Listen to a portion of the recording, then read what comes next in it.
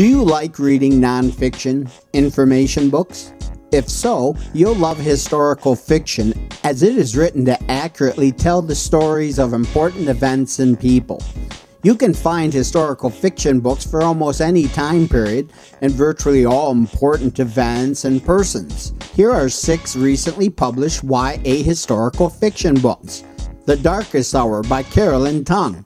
Lucy Blaze is a teen that uses aliases and is now working undercover to take down Adolf Hitler.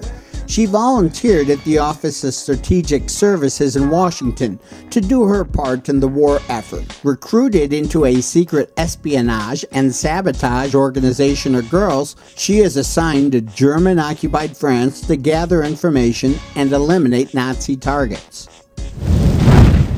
Blacksouls by Nicole Castroman is a book about 18th century pilots like Blackbeard, who was also known as Edward Teach. He's the first mate in this adventure book, contemplating mutiny to protect his crew from Spanish attackers.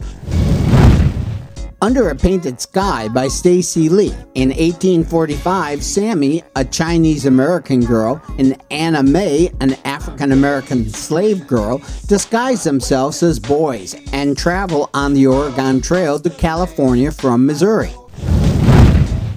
Crossing Ebenezer Creek by Tonya Bolden. When Mariah and her young brother Zeke are suddenly freed from slavery, they set out on Sherman's long march through Georgia during the Civil War. Mariah wants to believe that the brutalities of slavery are forever behind them and that freedom lies ahead.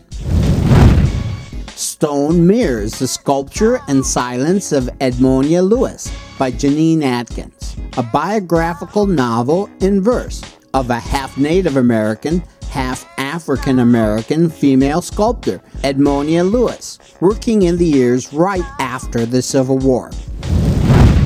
These Shallow Graves by Jennifer Donnelly. A young woman in 19th century New York must struggle against gender and class boundaries when her father is found dead of a supposed suicide. She believes there's more to it than meets the eye, so in order to uncover the truth, she will have to decide how much she is willing to risk and lose. Learning where we've been helps us make better choices about moving forward. Historical fiction books are compelling reads. Looking for a great book you'll enjoy? Ask your friendly school or local public librarian.